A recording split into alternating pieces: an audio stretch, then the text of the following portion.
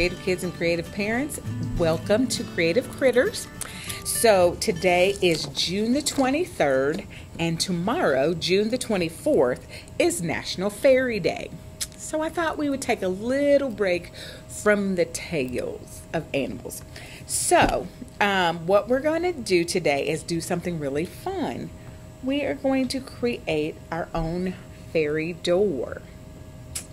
So, get yourself ready. Let me tell you what you're going to need. I'm going to stick that right there. You are going to need some popsicle sticks, some glue, uh, school glue, and go ahead and get your glue sticks out because it, it might be easier to use this. Some tape, possibly, for some things.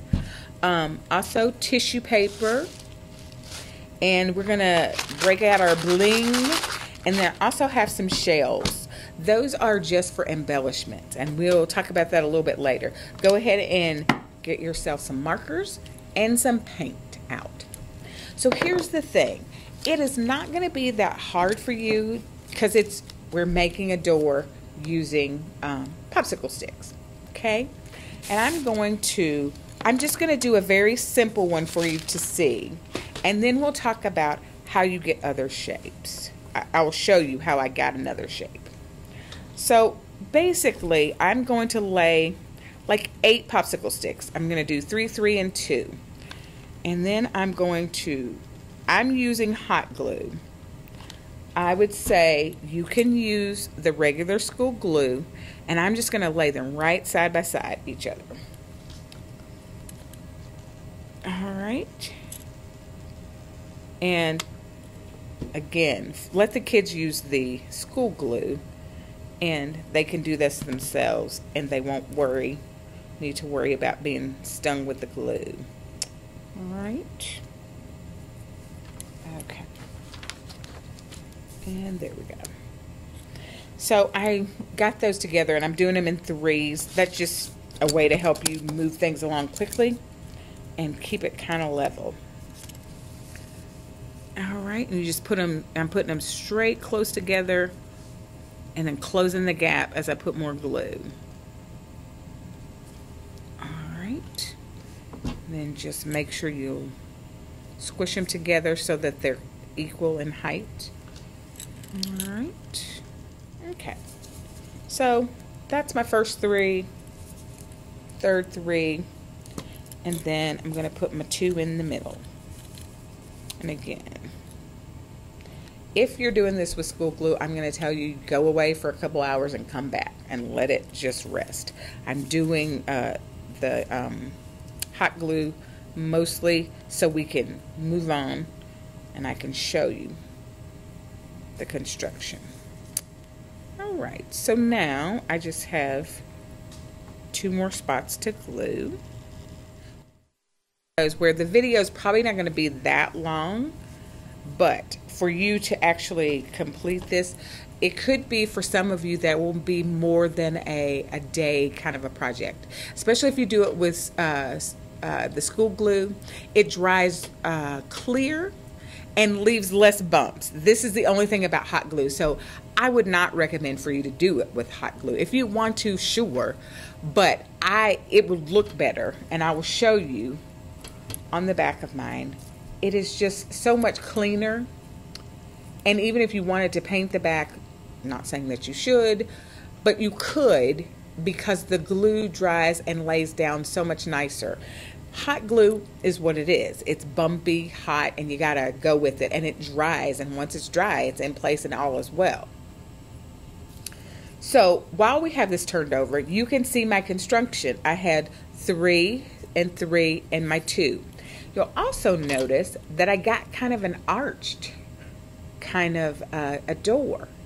So if you want to create any kind of shape like that, just move your um, popsicle sticks into that arrangement and leave them that way and then just put your glue right down the seams. You can see that these two middle are kind of up. I would still go in that kind of order somehow. I mean, you don't have to do three, three, and two like I did. If you want to do your uh, and add you could actually add more popsicle sticks. You could do three three and three. I would just keep it so that you keep it kind of to a minimum. Think about how thick you would like your door to be and break it up into smaller parts and then glue those parts together. And so um, that's what i did. So i'm going to finish by putting on like a cross hatching, and that's what I'm calling these. I just kind of think it makes it look more like a door, a little wooden door out in the woods. So, here's what we're going to do. So, I'm going to use the side that is not bumpy. Do you see what I mean? So, like, no one's going to see the back, or they don't have to see the back, but it does make it a little bit, you know, less desirable, in my opinion. So, we're gonna turn it over and I'm just gonna do one crosshatch so that you can just see what that looks like. And just so there you go. You just have and honestly this kind of helps it too ability if once you put one of those it really does. Like I'm not sure how the school glue holds up, but I think with those two cross hatches on it, it will probably hold up a lot longer and be good. I, I think it would help it. So at this point, you need to decide what color you would like to paint it, and I would go ahead and just paint that color right on. Um, uh, after this is all dry. Again, remember if you use the school glue, it's probably going to take a couple hours, maybe a little more but it's summer. So take your time and do one that you would be proud of. Okay? So I'm going to get back to this one that I did and show you the things that I the other things that I embellished with. I went outside and got sticks and this is uh, for another project that I had done. I actually had uh, spray painted white on it. So I just want you to know I did not find that in nature that way. But I used some of the extra and broke up the sticks. And so I put them around my little door so it looks like a house door. And then I fortified it around the sides also so it looks like hinges. And then I wanted to create some little steps. And if you can't see, there's three little sticks in here that I just glued. And I did use hot glue for that. Once you start using going for embellishments, I would say you can use school glue, but I would go ahead and do the hot glue because it's going to stay better because you have one um, it makes it sturdier, I think. It will be one uh, entity that you're gluing to. So the other things that I use, you can see I've torn up some little um, tissue paper and just made like little leaves that have fallen on the ground or grass shoots, however you want to think of it, you could use that. And then I wanted to do kind of shiny hearts. You know, fairies like the shiny stuff. So I went back and I used some little bling medallions and also some uh, bling flowers. Other things that I used were shells, um, and that was my doorknob, my little shell doorknob. I I think you could use um, buttons and just all kinds of other nifty things. You could actually use string find a way to use it. You can see on here, I use markers um, to embellish and create the vine look on on my door once my um, once my paint was dry. And remember, if you use our favorite acrylic uh, paints, they dry quickly. So you should be able to keep going with this. Just paint it, let it dry, and then you can work right with it.